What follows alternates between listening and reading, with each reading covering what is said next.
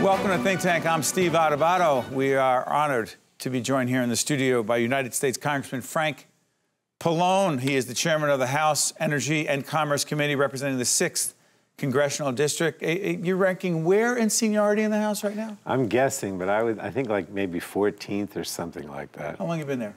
30, it'll be 32 years in November. Will you even admit that we served in the legislature together in the mid 80s? I admit all the time, but when people ask me how many years I've been in Congress, oftentimes I'll try to avoid the question. I hear you. Listen, Congressman, let's get right into some major issues. Um, the Clean Air Act versus, the, excuse me, the Clean Future Act versus the new Green Deal, because it's a big issue for you, the environment, uh, global warming. What is the Clean Future Act and how is it different from the New Green Deal? Go. Well, what happened is when the Democrats took over the majority last year in the 2018? House, right, we decided that it was very important to address climate change. And as you may or may not know, for the eight years when we were not in the majority in our committee, which has most of the jurisdiction over these issues, uh, the Republicans would never allow a hearing uh, on the issue. Of course, you could debate it and bring it up because it's a free country, but never a hearing, nothing formal, so to speak. So um, there's not, in my opinion, there's not much difference between the Green New Deal and the Clean Future Act in the sense that both trying to address climate. Um, the one thing that people make a big deal about is that we use the um, the deadline of 2050 because that's what the UN says, and most of the scientists say if you don't address this by then, we're going to have a major, you know, catastrophe. Uh, the Green New Deal says that you know we should use a deadline of 2030, which is nine years away. To but, do what? Well, they, they, let me explain that you could use the Clean Future Act and do it quicker if you had the political will and the votes to do that. So I don't think there's that much of a difference. But to do what? Well, uh, let me give you an example. You go sector by sector. So one is the power sector, right? In the power sector, we said you have to have net zero emissions by 2050, which means that you know, you can use a combination of renewables or carbon capture or whatever, but you can't have any additional uh, greenhouse gases emitting into the atmosphere. And then you, similar for the transportation sector, right? You have to have, you know, fuel, more fuel efficient uh, vehicles, or you have to have electric vehicles, or for the industrial sector, you have to manufacture things without, you know, putting more greenhouse gases into Is the, the goal to get rid of all carbon emissions? It, that's not the goal, but it could get to that point. Uh, you could certainly achieve it by having none, but no, this is uh, a, a, a no increase. In, in other words, uh, uh, net zero emissions, meaning no additional carbon into the atmosphere. How would you rate and how would you describe President Trump's efforts in this regard? He's totally opposite. I mean, one of the things I, I keep stressing to people, Steve, is that let's not talk about the difference between, you know, what Democrats or what progressives believe because the president and the Republican leadership in Congress don't even acknowledge that climate change is real. And so our battle is to convince our Republican colleagues that they should join us in this effort. Otherwise, it's not likely to happen because, you know, we continue to have divided government. So what is, in fact, in your opinion, again, I often say we don't do politics, we do policy, but politics is connected to policy. What is at stake in the 2020 election as it relates to climate change? Well, I obviously would like to see a Democratic president, a Democratic Senate, and an all Democratic Washington, because then when it comes to climate change, we would actually be able to address it. What about the need for bipartisan government? Well, absent that, um, then you'd have to try to convince enough Republicans to go along with some of these things. And some of them they are willing to go along with. Like, for example, energy efficiency is something that they're, you know, you could say, let's work towards this goal without your acknowledging that uh, these carbon emissions or this climate change is human induced, because that's what they'll say. Many of my colleagues on the Republican side, well, I'll work with you on climate change, but I don't believe it's human induced. Well, that makes it a little difficult, but you can, you know, say, okay, let's move towards renewables, let's move towards energy efficiency, but it's going to be harder to achieve. But you can do those things, and we have done some things even in this Congress on a bipartisan basis on things like energy efficiency. Before we move to healthcare, I'm curious about something. What do you truly believe after serving more than a few years in government, living down at the Jersey Shore, seeing what you see there after Hurricane, uh, Superstorm Sandy, et cetera? What do you truly believe is at stake for our nation, and civilized society. I, I, hate to be so grandiose, but that is what I mean when it comes to climate change. What's at stake?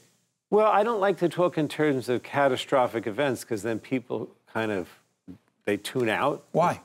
Because they don't like to believe that it's at that stage. What do you believe? Oh, I think it is. But I think even if you don't agree with that, or even if you don't agree that it's human induced, at least join together and try to address it in some meaningful fashion. Are we losing precious time? Oh, absolutely, sure. I mean, most uh, most people say, most scientists say that this problem is more acute in New Jersey than it is in the rest of the country, and we're seeing the sea level rise, and we're seeing all kinds of problems in our state. Shift gears. By the Sure. way, listening on the audio side, United States Congressman Frank Pallone from the uh, 6th Congressional District. He is the chair of the House Energy and Commerce Committee. Talk to us about pharmaceutical drug prices. Well, drug prices increasingly are a big reason why healthcare costs are going up, right? And both uh, Trump and uh, and Hillary, when they ran in 2016, said they wanted to have negotiated prices. And so I have a bill called HR 3, which passed the House of Representatives. House Resolution number three. Right, which passed, and we're hoping that we can get some action in the Senate that basically says that the government will negotiate prices with the pharmaceutical manufacturers to bring costs down. Now, keep in mind that every developed country in the world does this Japan, Canada, Australia, all of Western Europe. And that's why drug prices are, on average, uh, you know, at least half the cost they are here, sometimes 25%.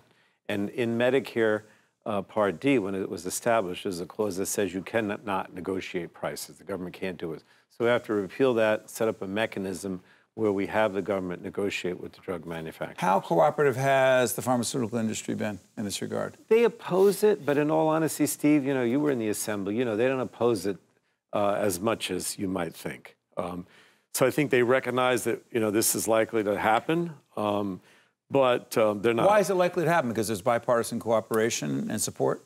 Yeah, I mean, it's hard. You know, so far, McConnell has not been willing to go this route, but the president says he wants to, but he hasn't been pushing hard enough. But I do think maybe as we get close to the election, or obviously if Trump is defeated, uh, I think we will get it. We will we'll pass it. There are Republicans who would support us. You know, you've been a leading person on a lot of issues, Congressman, but when it comes to the larger health care uh, issue and, and the Affordable Care Act and the effort that some say the Trump administration has been engaged in dismantling largely through the courts. Yes. Right. But not just through the courts, Steve. He does a lot with agency action too to dismantle. Describe that for people because people think, well, it would take Congress to have to do something. You're saying through executive order, he's done what? Through what agencies to achieve what impact? Well, I'm going to give you an example, right? One of the things that um, was very important in the ACA was The Affordable Care Act, was the Affordable Care Act, or Obama, I'll use Obamacare if you want, is um, an essential benefits package. In other words, that your health insurance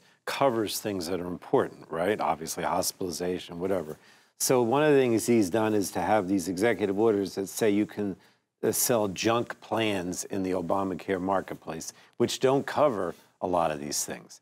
And so people sign up for it, and then they find out that their health care is not covered. Is pre- are pre-existing conditions covered? Well, he says in theory that you can't discriminate based on pre existing conditions, but let's use this example. So you have a pre existing condition and you buy a junk plan that doesn't cover something that you need. Well, then you don't have coverage. But why would the president? Why would the president want to do that, Congressman? Because it's cheaper. In other words, but hold on, respectfully, why would the president want to do that when a significant number of his supporters and a large number of states with working class people, people who are struggling to try to afford health insurance, when I say working class, what I mean by that is they are not super rich, they are working class, middle class, some have jobs, some don't, but they're all struggling with health care costs. Why would he do that if those are the constituents who, in many cases, support him in key battleground states? It's illogical.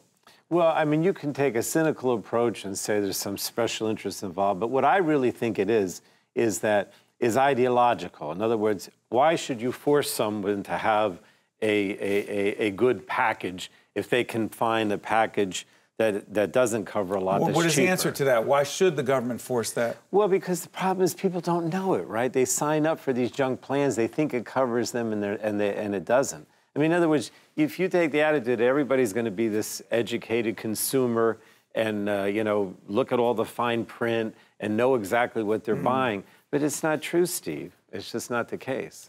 We're speaking with United States Congressman Frank Pallone. Uh, one more healthcare related issue. You concerned about the vaping crisis? Yes, in fact, that bill, my bill, is coming up this week. What should what is the bill and how is this a national issue? Well, what we found is that more and more young people, and I say young, these are kids under 21 who can't buy Right. any tobacco product. Maybe in sixth, seventh, eighth grade, they start vaping because they because it has all these flavors, bubble gum, whatever, and they're convinced by the advertising on TV that it's a smoking cessation and they're not going to that doesn't have nicotine, they're not going to get addicted. And so what we're saying is that we want e-cigarettes to, to be deemed a tobacco product by the FDA, which they're not. That's what the bill says. And then you can't have the advertising that you see on TV that you're not allowed to do for cigarettes. Where is that bill now? It's going to come out, up on the House floor. on President Trump supporting it? President Trump has basically, through executive order, done something much weaker. Okay. Will he support this legislation? I think he probably would if it come, came to his desk, but then it has to also be, uh, you know, get through the Senate. Got to move through the Senate. Yeah. Now, I mean, I didn't give you all the details. seconds, go ahead. It also outlaws the flavors, right? And it outlaws out- online Which has been done in New Jersey as well. Yeah, New Jersey is pretty much similar. Uh, not completely, not not as strong, but it is like 80, 90% of what we're trying to do. You've been listening to United States Congressman Frank Pallone, the chairman of the House Energy and Commerce Committee. Um, thank you, Congressman, for joining us on Think Tank. We Thank greatly you, appreciate Steve. it. Good to see you again. Same here. I'm Steve Adubato. We'll be right back right after this. Think Tank with Steve Adubato has been a production of the Caucus Educational Corporation.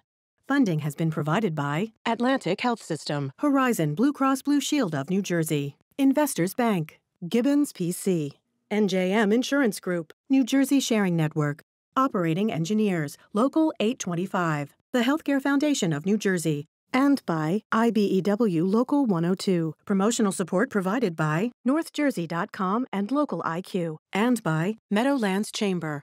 Transportation provided by Airbrook Limousine, serving the metropolitan New York, New Jersey area.